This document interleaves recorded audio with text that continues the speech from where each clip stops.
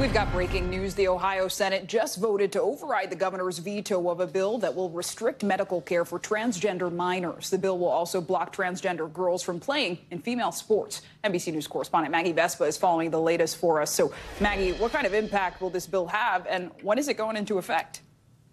Yeah, so as you pointed out, Sinclair, this is kind of a two-pronged bill. It's a combination of bills that were introduced separately and then combined, passing with a supermajority in the Senate and the House, then vetoed by the governor, and they have now overridden that veto. So in 90 days, when this goes into effect, essentially this spring, this will prevent minors from getting any kind of gender-affirming care that includes hormone blockers, therapy, those kinds of things. And it will also prevent girls and women from, uh, transgender girls and women, I should say, from competing on high school and collegiate uh, athletic teams, basically women's sports in the state of Ohio. This vote came today after we heard dozens of lawmakers on both sides of the issue effectively stand up and say why they were going to vote the way they did. Here are two examples of, of what we just heard. Take a listen.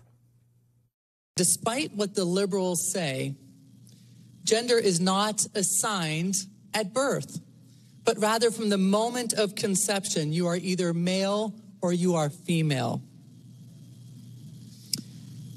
And there is no such thing as gender affirming care.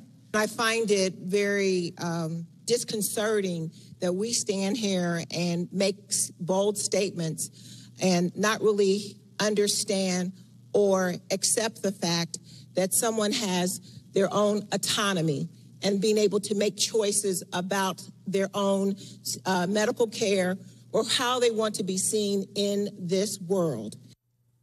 Now, we should point out Ohio's governor, if you're keeping track, is a Republican, Mike DeWine. He had vetoed that bill not because he's against uh, banning gender affirming care of any sort. He basically said he drew the line at surgery, and he has since introduced his own executive order banning surgery for minors. Now, this bill takes care of all kinds of gender affirming care.